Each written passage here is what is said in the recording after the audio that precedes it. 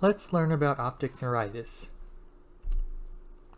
So this is a inflammatory demyelinating disease affecting the optic nerve and it affects about 50% of patients with multiple sclerosis and is highly associated with this disease. In about 15 to 20% of patients with multiple sclerosis, it is the presenting uh, symptom. So it happens more commonly away from the equator and also happens more commonly in women. And in children, you can commonly see bilateral optic neuritis. So the typical presentation, you'll see a woman in her 20s to 40s, and she will have monocular vision loss that develops over the span of hours to days and peaks by two weeks. If the vision loss is still progressively getting worse after two weeks, then consider an alternate diagnosis.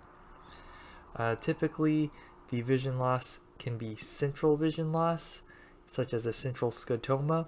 However, you can have visual loss of any visual field uh, as well. So the eye pain usually exists in about 90% of patients as well, and that's worsened with movement. There can also be loss of color vision, especially the color red. A relative afferent pupillary defect always occurs, and we'll talk about what that is. And if it affects the anterior optic nerve, then sometimes the optic disc can be swollen as well. So for an afferent pupillary defect, we can illustrate this with the swinging flashlight test. So when the flashlight is swung onto a normal eye, the optic nerve transmits the signals bilaterally to both oculomotor nerves, which will constrict the eyes. So if you have a normal optic nerve swinging a flashlight into that eye will cause both eyes to constrict. However, if the optic nerve is has a lesion, such as optic neuritis, then the light is not transmitted and neither eye will constrict. So for the evaluation, an ophthalmologic exam is very important, including fundoscopy, because this can help either diagnose other causes of monocular vision loss or optic neuritis. And for the diagnosis, for about 95% of patients, they will have an abnormality on their optic nerve on the MRI brain and orbits with contrast, and it'll demonstrate optic nerve in inflammation. The MRI brain can also reveal typical multiple sclerosis lesions if they have multiple sclerosis. A lumbar puncture can be done if other causes are suspected. However, for uh, classic optic neuritis, it does not always have to be done. Some reasons why you might do a lumbar puncture might include bilateral vision loss, or if it appears in a young age, or if there are infectious symptoms.